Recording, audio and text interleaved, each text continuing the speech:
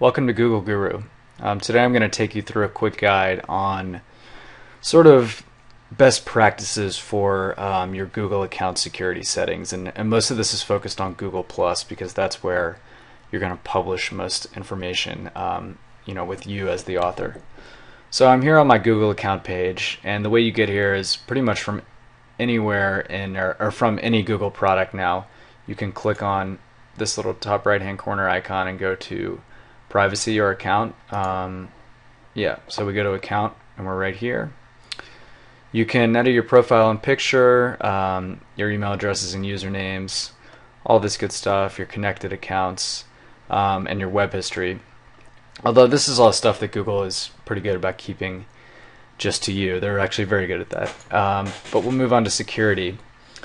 And uh, this is where you can change your password and you can turn on and off two-step verification, which we cover in an, another video, but that basically requires a code to be sent to your phone um, when you log in. So it's not just a password.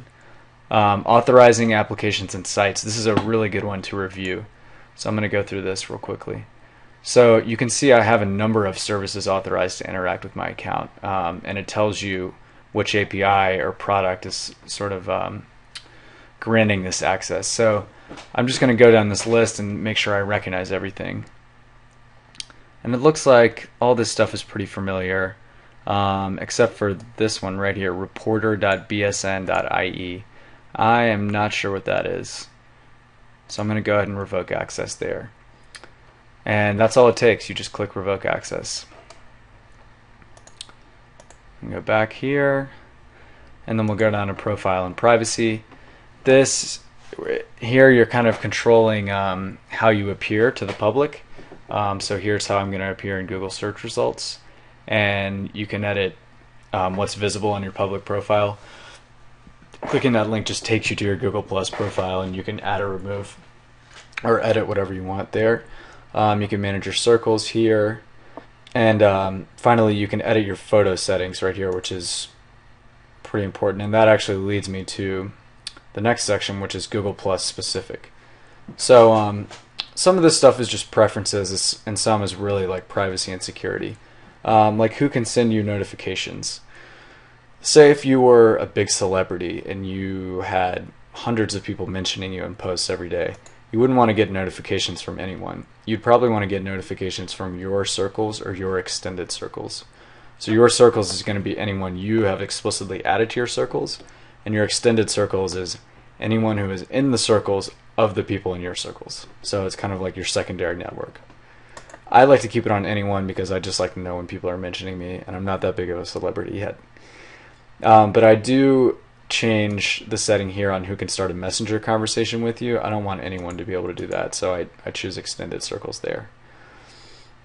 You can manage your email subscriptions and your notifications. Um, you can receive all this stuff by email or phone.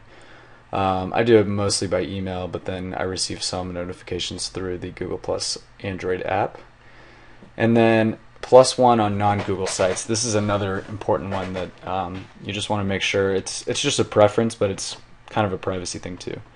If it's enabled, then your name can show up on third-party websites uh, if you've plus one them. Um, if it's disabled, your name will never show up there. So I'm okay having my name on there um, so I leave it enabled. But that's something to make sure you have locked down. Let's see, what else? Um, okay, so here's photos, as I was touching on earlier. I don't like to show my geolocation information in, uh, in photos because if I'm uploading something from vacation, I set all this stuff to public, so I don't want someone to be able to look at my pictures and say, oh, he's out of town. I can go by his house. um, just something to be aware of there. I don't mind if people download my photos though, so I leave that checked. I don't want it to find my face in photos and, and prompt people I know to tag me. I'd rather just have control over that myself. And then finally, um, this is where you disable Google Plus if you want to do that. That's pretty much it. Um, you can see products right here, and uh, there's some other things, but the meat of everything is in profile and privacy, Google Plus, and security.